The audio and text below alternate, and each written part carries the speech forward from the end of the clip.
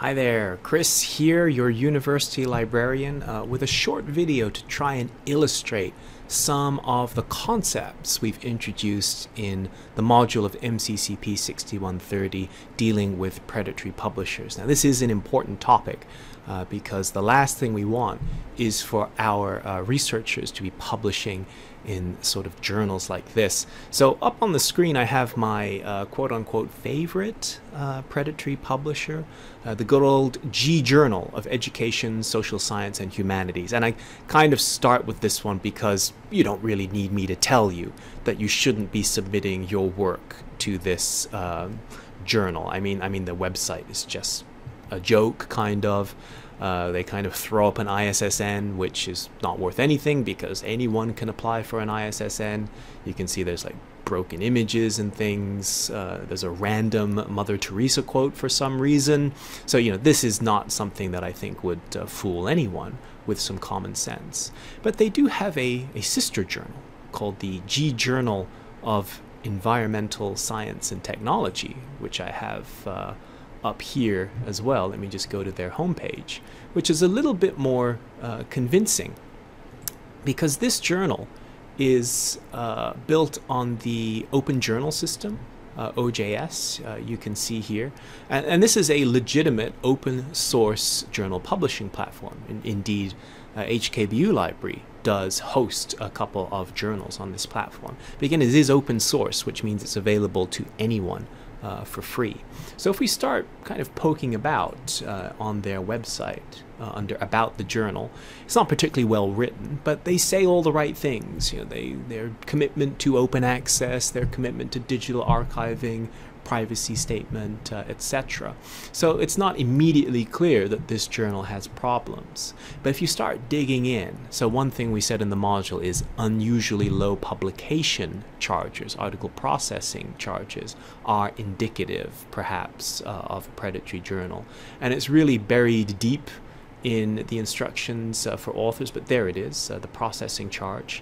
Uh, 2,250 Indian rupees or 150 US dollars, which compared to legitimate gold and hybrid uh, open access publishers, which will charge you know, 2,000, 3,000, 4,000 uh, US dollars. This is uh, suspiciously low, let's say.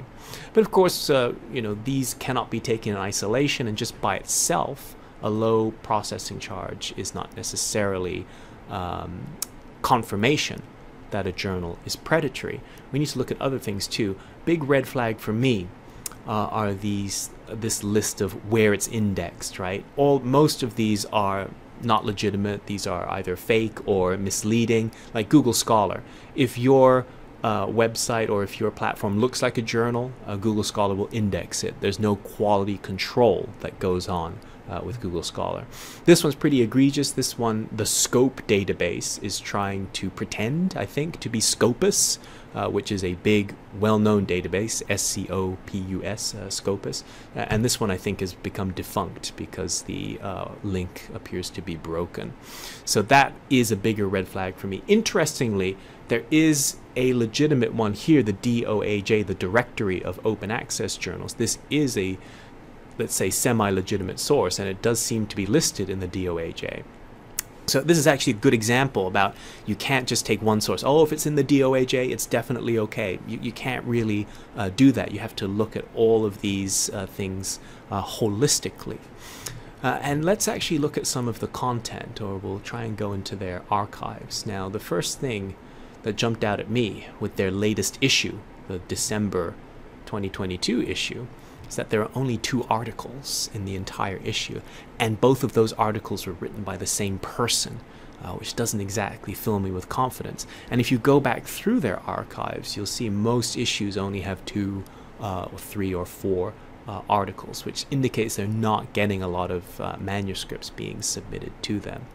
If I actually open uh, this one here, I have it open here, First thing you notice, it actually looks okay. You know, the formatting of the PDF, this looks like a legitimate journal article. And I don't know anything about inorganic fertilizer, so I can't really critique uh, the article itself. But just in the first few lines, uh, you sort of see uh, some problems with the language. Actually, the one that jumped out at me uh, here uh, something, something, something, claims to adhere to the second lion of argument. I think they meant line, L-I-N-E, not lion, as in the you know the the big cat. So if you're seeing these sorts of very obvious typographical errors in uh, the language being used, that's indicative. You know, did they really peer review it if they didn't pick up on like very obvious uh, problems with the language like that?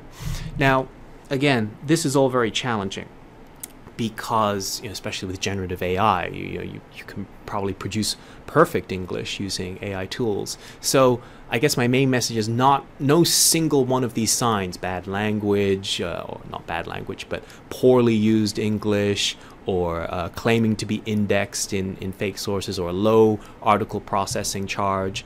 Uh, none of them can be used as a single uh, definitive um, uh, proof that something is a predatory publisher. So, which is why we say in the module, if you're not sure, come and ask us. Now, the last the thing I wanted to finish on uh, was just more of a comment on you know why predatory, why we should care about predatory publishers and the problems that they're causing, uh, because uh, they are actually polluting the scholarly record. So if, for example, I search for the name of that journal that we just looked at in Google Scholar, uh, you will see that it is being indexed and quote unquote cited uh, by Google Scholar. So, and again, if you just go straight, if you search Google Scholar, you, you find uh, something, you know, an interesting article and you just click on it and you're taken straight to the PDF, you might think that that's a legitimate article, but for us, having gone through the website, you know, I have a lot of question marks about this particular journal. So it is a real uh, problem. So be aware of it. Uh, you know, be sure that when you submit your manuscript to a journal, that you're uh, convinced of its bona fides. And again, if you're not sure, come and ask at the library, ask me, ask any one of my colleagues, and we'll give you our verdict on whether or not you should submit your work there. So I hope that's been helpful and uh, enjoy the rest of the MCCP 6130 course. Thank you.